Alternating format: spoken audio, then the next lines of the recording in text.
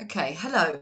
Um, and today, uh, for the podcast, I am really delighted to be able to um, introduce Jo.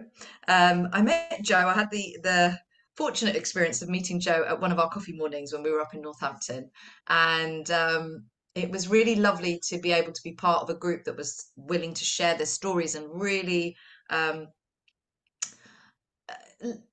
give people an idea of their experiences so that menopause didn't feel so frightening or alone. Um, so, Jo, welcome to the podcast. Thank you so much for joining. Thank you for having me. Um, and today, Jo, we're going to talk about midlife crisis in women. That's the kind of topic we were we're going to approach. Um, but first, before we do that, please tell us a little bit about yourself, who you are, um, and and then we can delve into why this topic is is important to you. Yeah, I mean, so I'm Jo Cumberpatch. I'm in Northampton, the UK. I have, I'm an accountant by training. I've worked in banking, in fast-moving consumer goods, and then I had kids, and it was like I can't can't do that life anymore. So I started a small business. That's been amazing. But in the last couple of years, I've realized it wasn't aligned to who I am, who I want to be, how I want to put myself out in the world. So you could say this was my midlife crisis. I've packed in the business. I'm in the process of selling it. Um, that's Wow. been my income, you know, and, and that's going. Um, and I've taken up some risky hobbies, so paddleboarding, cycling, open water, cold water swimming. Um, I'm off to Finland in a couple of weeks to go ice dipping. So I'm doing all sorts of things. That's my kind of midlife crisis. But the big thing I've done is to retrain as a life coach, specifically working with women in midlife, because this stage of life, there is so much coming at you. Children getting older or facing the fact that a family isn't going to be something that's in your life um, children leaving home, there's health issues, there's menopause, um, there's relationships, there's money worries, there's everything that's going on in the big wide world. And yet we are still being the carers for our parents, for our children, for our partners, for those around us. And I think this is a point in life we need to wake up and work out what's important to us. We can do all those things. We can still be that carer and be the person that everyone turns to. But we also need to fulfill ourselves and our own needs. And I've been selfishly pursuing that over the last couple of years in my own little way. And one of the ways is packing in the other business and starting a whole new one from scratch. So that is me. Oh, amazing. Wow. And good for you. Uh, I feel very happy that you're doing something that's making you happy. Um, and sometimes it's, you know, a lot of people will say, oh my goodness, uh, wow, that's such a big thing to do. But I think sometimes when you you make that decision finally and you do it, that there is a sense of relief. There's also sadness and a bit of scariness, but there's a sense of relief from what I can from what I can sense from what you're saying. Um, I suppose I think the other thing that I just want to sort of point out really is with this podcast that I'm doing, you're not alone in doing what you're doing. Most of the women that I have been speaking to over the last, I don't even know how long, how long I've been doing the podcast now. Been, it feels like forever and it's been amazing because I've met so many wonderful women and men um, but it actually seems to be a very common thing that this time in women's life, whatever that age looks like, age doesn't seem to be relevant in this. It just seems to be something that happens to people at a particular time. And, you know, maybe we can kind of have a, uh, chat about that, whether it's to do with the hormones and things, but they're actually ditching what they don't want to do anymore. They're really reevaluating, they're really thinking, rethinking their lives, and actually not being scared to make decisions and try things and do things that, you know, either they may have done in their younger years or actually would never even considered before, and because they feel like they're a whole different person. Is that something that you would relate to? It's funny because I almost think I've got to this crossroads where I've given so much of myself to others and, and, and I've done it willingly. I, I wanted a family, I have a beautiful family, and they are my absolute center of my universe. But it's gotten to the point where they are my universe, and actually, I need to have something for me. Um, so yes, I, I agree that this is this age, whatever it is, 40, 50, whatever that age is, there's a point when many people come to to ask, well, so what? What what's my legacy going to be? What's the point? Yes, I'm raising three beautiful kids and they'll go on to have great lives, but what is it I'm going to leave behind? What impact am I going to make? And I'm very much wanting to answer that question and trying different things to see what that Mm, impact might be, small or large, both, hopefully. Yeah, yeah. And what would you say to people that might say, well, it's all right for you.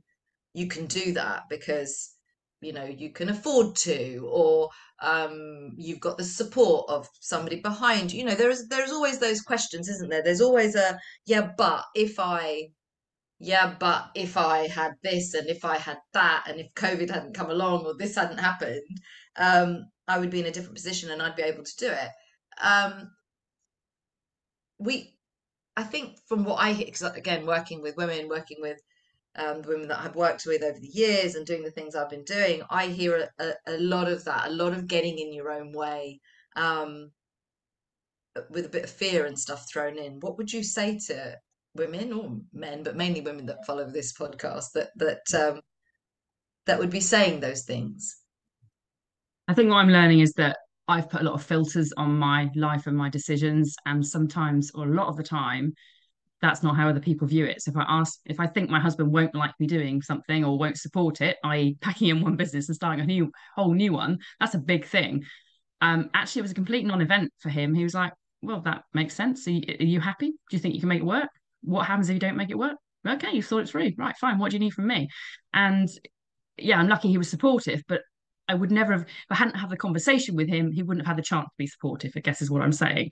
Yeah. So yes, maybe I'm lucky I've got a supportive husband. Maybe I'm lucky I've got some savings behind me. But this is not easy. This is full of fear. This could go very wrong. But everything in my life, if I look back, even the really dark moments, I realized there were silver linings. There were things I learned from it. There were um, resilience that I built. And so I'm just going to approach this the same way. Will I be doing it in five years' time? I think I will because I really feel passionate about it. But if it, if I'm not, I will have learned something from it and I will pivot to something else. So I think it's about having conversations with those that need to support you, but knowing in your heart if this is something you sometimes logically doesn't sound like it's going to work, but if your gut keeps coming back to it, if you keep getting drawn to it, you need to do yourself a favor and explore it. Mm. Yeah, I think that's a really sensible, sensible approach. Actually, I think, um, I think I suppose for me, I don't know whether this comes to you, but it's like that. You know, I don't want to live with regret of what if I had, what if I had. I think that what if um, is a is a huge thing for me, and I think legacy as well. You're absolutely right. I think looking into the and it's it's it's interesting because when I was younger, I always used to say, and then I had my my children, I always used to say, I really want to be able to get on with my girls really, really well. Um, I don't want to be, uh, you know, I want to, I don't want to be their friend particularly. I want to be their mum first and foremost, but I want to be a part of their lives in a really productive and supportive and mutually respectful way. And that's something that's definitely happened. And I always used to imagine myself as well with God willing, if I ever had grandchildren and I have one, um, you know, that what kind of grandma would I be? What kind of person would I be? Who, who would that? What would I be bringing to that child? You know, I've done for my own children. I'm continue to do, but what would I bring? So yeah, for future and future, that legacy. And actually, that's quite a powerful driver, isn't it? That that vision. It's hugely powerful what you inspire your kids to do. So I've got three boys twins who are 11 and a 14 year old, plus stepchildren in their 20s, one of whom lives with us, plus a granddaughter. And I know that some of the things I'm doing is are inspiring them, and it may be this I'll, I'll never do that, but we're having the discussion.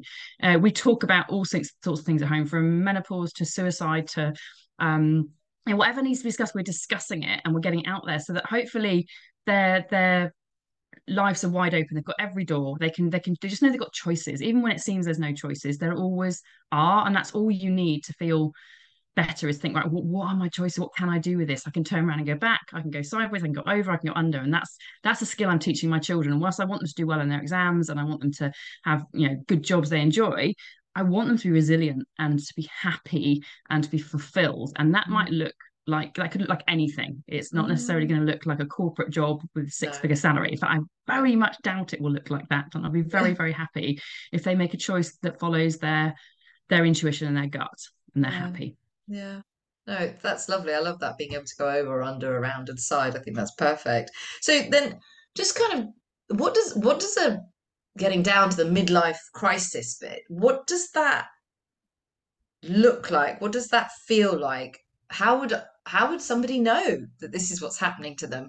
Because unless they know that, how would they then know how to reach out for help? It's a funny one, isn't it? Because midlife and crisis are two two quite emotive words. Put them together, they're very um, they paint a picture, don't they? So midlife in itself, we can put there's loads of generalizations and assumptions and stereotypes we will immediately start to think of when we think midlife, mm. and most of them are negative. If we're going to be honest, yes. if we then add crisis on the end, we're all thinking immediately balding, middle-aged man, buying a sports car, taking up risky risky hobbies, possibly leaving his wife, just all of that that's the image we get painted when we think midlife crisis. The image for women is well there's no real equivalent of that. We continue to quietly do what we've always done putting others first um, and making sure that everything ticks over nicely. And we get a lot of satisfaction from that. I'm not going to lie that we don't. I, I we, we do. But we don't indulge ourselves. We we I would never dream of buying a sports car. My husband did buy a sports car a few years ago, lovely little blue MG. There was a discussion had, but you know, I was like, I can't see the point. Two seater car, we've got three kids, but if it's gonna make you happy, do it. And then five months in, I got a phone call from the police saying he'd had an accident. He was waiting for an ambulance. Car was written off. Um, I used to get to the hospital. So, long story short, uh, the car was a write off, and that was the end of his dream of a sports car. Um, so he had his midlife crisis. It lasted five months. He survived it, which is good. And our marriage survived it too. But we don't do that, do we, as women? We're too busy juggling everything. There's just a mental load, let alone actually what we have to do. Um, and then we add in a huge, ginormous, massive emotional and biological milestone that is menopause that hits us perimenopause, menopause, postmenopause. And that's really interesting to, to me. I'm, I'm really spent a lot of time reading and um, connecting about menopause. And the more you share, the, the better it becomes because you know that you're not alone. You said that at the beginning. But menopause is a funny thing. It comes from the, the Greek word men, meaning month, and pauses, meaning to stop or cease. And it basically gives no greater meaning to this stage of life than the fact our monthly bleed stops. That is teeny, tiny, tiny part of what menopause is. And basically, we are told the message out there is changing, but the message out there for so long has been menopausal women, you have served your purpose. Now step aside let the younger generation. Whereas men at this age, they're at the peak of their careers. They can still have babies. They can still they just do, they can do everything. We we have to step aside, and we often treat older women as if they're less valuable members of society, and that is not how I feel. But we regard it regard it as something dreadful that's eventually going to happen to all of us, and there's nothing we can do about it. There's mm. so much we can do about it. Yeah, yeah. So for years, Western medicine has minimized the importance of menopause, and we just talk about it as a as a biological transition we mm. maybe offer some medication and that's it. There's nothing more to worry about but you and i both know there's a lot more to it than that. What i find really interesting is you look at other cultures. So you look at the mayan women in belize mexico and guatemala guatemala sorry. They acquire actually a new status when they enter the menopause and they become spiritual leaders of their communities. They're the wise women the repository of information and wisdom. Oh, that is so much nicer and in Japan, menopause is known as konenki, and I, I apologize if I've not pronounced that right. But translated, it means ko means renewal and regeneration. Nen means year or years, and ki means season or energy. So it's about renewal of your energy. Mm-hmm. And research shows that Japanese women experience very few symptoms of menopause. Now, that could be down to a lot of things. This innate belief that this is a great stage of life to be entering, plus their diet and exercise and so on. It's not, it's going to be a lot of things that contribute to that. But knowing that hot flushes and other symptoms don't have to be mandatory or that they can be managed through lifestyle, through um, HRT, for instance, the question I've been posing over the last six months or so is do we have more control over our own menopause than we actually assume? And that's something that I I think midlife, so much of midlife is wrapped up in what is going on menopause. We don't realize. We think we're discontented. We think we're disconnected. We think our, our low moods and our um, you know um, lack of sleep and so on we, we don't connect them but all of them are probably connected to this huge biological biological shift that's happening in our bodies. Yeah. Yeah i, th- I mean totally. Absolutely. Um, uh, and yes you know th- that shift that you're talking about we tend to look at it as external factors, which is really interesting as well. So, you know, we'll be anxious and we'll look at what's happening around us in our life. We'll become low mood. We'll look at us. We'll become dissatisfied with with work because you know it's not it's not doing what it used to do. Um, and so, actually, I think that change in hormones that is happening, um, estrogen, progesterone, you know, testosterone, that the, the you know that shift in estrogen, which has kept us exactly as you were saying, very happy, mostly, very kind of you know generally ticking along and bubbling on with life as we would, whatever our happiness, whatever our happiness looks like, might be different.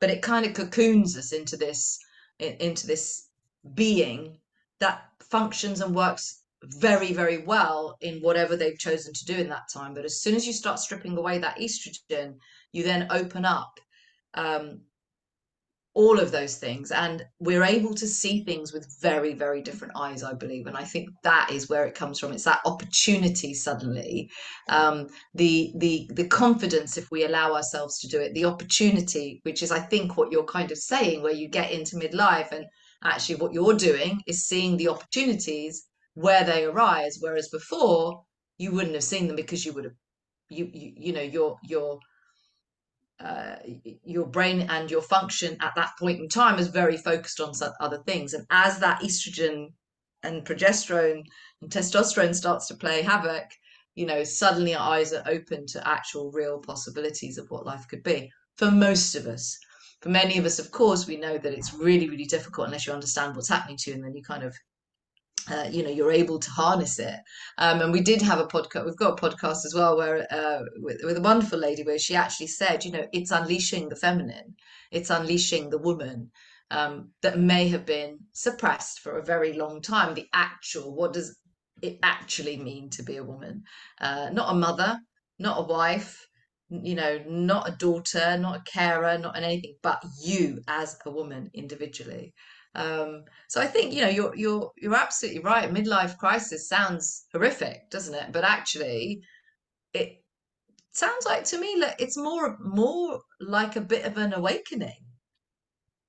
I think it's definitely an awakening, and it's a chance. I, have unleashed Jo in the last year or so, and and the Jo pre-family, pre-kids was someone who would go parachuting and would just book a weekend away the night before, and would say yes to things she wanted to say yes to, and happily say no things to things she didn't want to do. The Jo that I've become through parenting and and having those deeper relationships with extended family, partners, and so on, um, compromises, has to and has to, and willingly does so. Yes. The Jo that is now being unleashed um, because menopause has given me that wake up call. And I, am one of the, the women that have had a really tough time. And I'm happy to talk more about that. HRT has been an absolute lifesaver, but not an instant panacea. Um, and I'm unleashing a Jo now that I'm going to Finland in two weeks' time. Now that's nuts. I'm going in half term. So my three kids are at home. And my husband has said, yes, go. If this means so much to you, this is important to you, if your gut's telling you, yes, we'll make it work. I would never have dreamed of asking for that a year ago.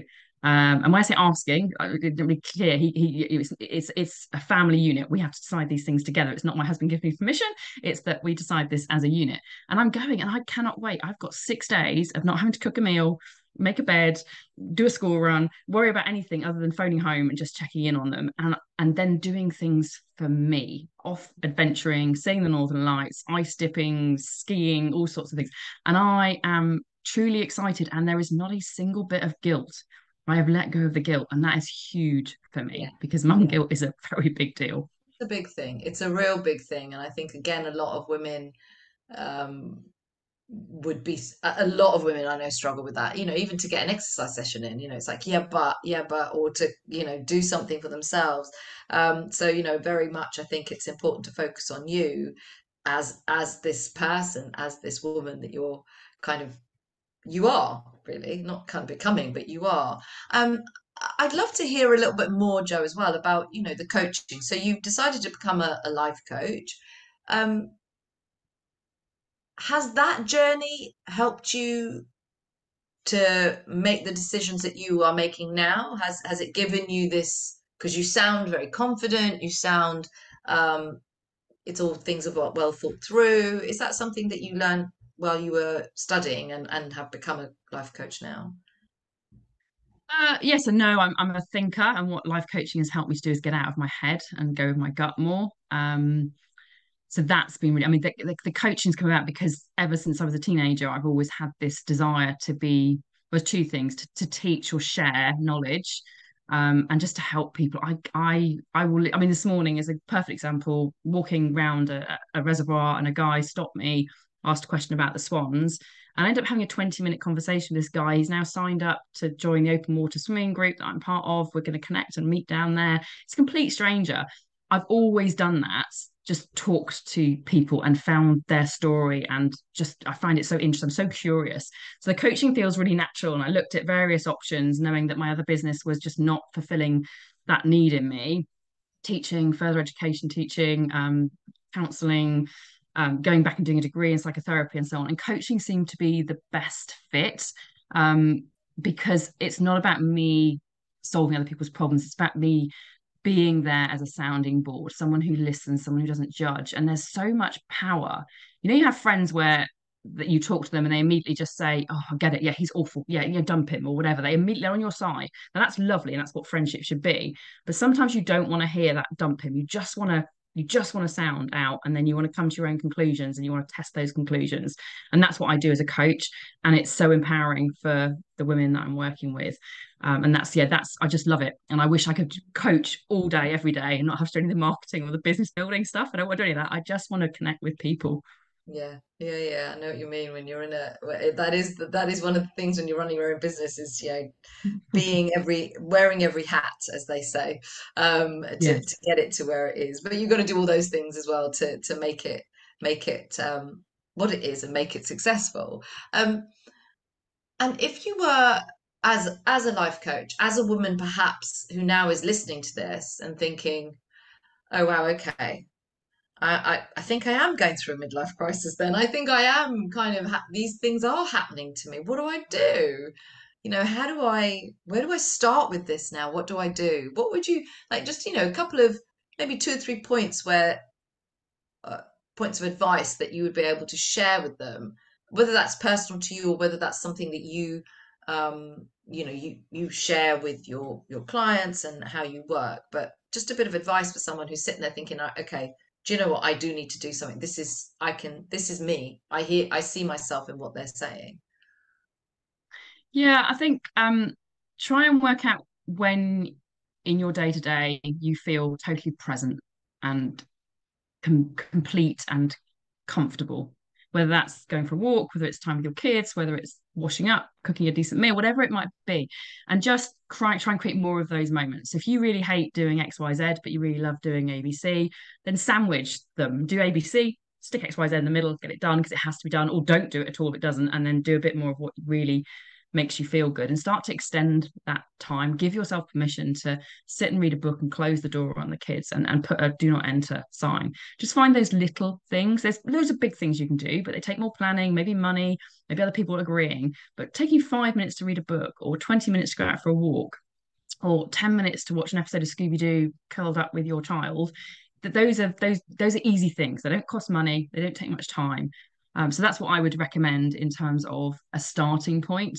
Um, Mm, the things that I do um, each day and each week that I would uh, sort of encourage you to explore is uh, both around water. So, very simple thing is to be hydrated. So, I start every day by drinking a pint of water. It, it starts the day hydrated. I think food, nutrition, exercise are so, so key through menopause, even more key. Things that work before will no longer work for you. You'll need to change things up. But starting with water, just plain cold water, um, or you know maybe a hot water and a, and a, a squeeze of lemon as soon as you wake up and then keeping going, making sure you hydrate through the day. And the second thing to do with water is, and I'm not suggesting everyone goes out and do that, does this, but I'm suggesting they find something that ticks these boxes. So cold water swimming for me is something I've started in the last four or five months. I never thought I'd be swimming in just my swimming costume in January in ice, but it ticks so many boxes. It's exercise, it's a challenge, it's social because you're doing it with other people it's that sense of achievement. I've done it. I've already achieved something before I start my day. Um, it's being inspired by other people, meeting amazing other people. In fact, we all joke that we're crazy, but they're my kind of crazy. So my recommendation is go and find your kind of crazy and hang out with them. mm, No, it's it's so the the great bits of advice, and actually it tells it kind of comes really nicely into the bit that I was going to ask you about, which I al always ask at the end, which is, you know, what kind of advice would you give to people to share something that you are doing that you feel that somebody, you know, that may benefit or help others? And that's kind of answered that question really beautifully, actually. And I do, you know, I think from what I get from that is the first, you know, the first bit of what you said was actually it was really interesting for me while you were saying that to think through my day because quite often I get bogged down with just doing stuff. Um, and what is it that makes me happy? Um, but like you're right, you've got to do things that make you happy and make you the way you're present, but also sometimes sandwich in those things that perhaps aren't always the the kind of you know tick every little box and make you happy. Um, so I like that balance between the two. Um, and I love the fact that you are doing something where you are feeling part of a community, you know, and I think the community aspect of things is so important.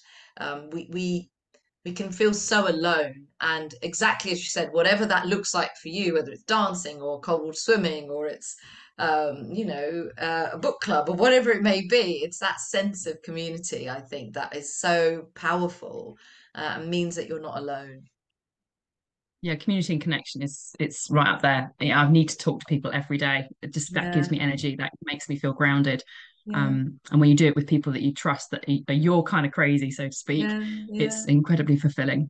It is it is. You're right you know i do. I i would like you kind of i i I I think I'm I don't want to connect with people, but actually I love it. I'm a I, you know I train I train people. I, I have women on my program. My programs. I'm constantly chatting to people, making sure everyone's all right. What are they doing? Da, da, da, and really understanding, as you said, and being curious about their development and where they're going. So yeah, you know, it does take a certain type of person to be a, coach as you are. Um, and uh, you know, I think it's wonderful that you're you're using your energy to help others is is just it's just fabulous. So it's it's it's really really lovely.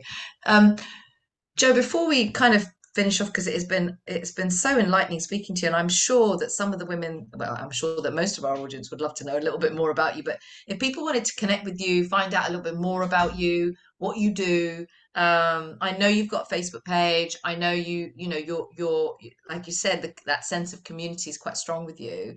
Um, would you be able to share where people can find you? Because that would be really useful. Yeah, I mean the community angle is the is the most important bit to me. I'm building a community on Facebook. I would so much rather build a Facebook uh, a community face to face, like meeting yeah. people. But you know, this is an age of, of technology, so um, the group is called Right Side of 40 Midlife Reimagined. I would love to see you there. You don't have to be 40, you can be under 40 if you want to be. You do have to be a woman though. Um, if you're a man, you particularly think that there may be something you want to learn from me or your wife or whatever, please point my direction or just friend me, Jo Cumberpatch. Happy to take friend um, friend requests. I do have a podcast, so that's also called Right Side of 40 Midlife Reimagined. Brilliant. But basically, um, yeah, please do connect with me. I'm I'm just genuinely wanted to help and I'm still working out how I'm going to do that. Um, so I'm really just looking at you. Come, come join me. Come tell me what you need from me. What yeah. I would leave you with is just one one thought. It's a quote by Mark Twain, which I think is really interesting because age is such a such a thing in our in our society. And he has a quote that says, "Age is an issue of mind over matter. If you don't mind, it doesn't matter." and I'm living by that. I'm I'm in my prime right now. I can yeah. I'm I'm just so much better than I was 10 years ago, 20 years ago, and I've got so much more to give and yeah. I'm going to make the most of the years ahead of me. Oh, it's wonderful. And I absolutely live by that rule completely. Exactly as you said, I'm feeling better than I've ever felt.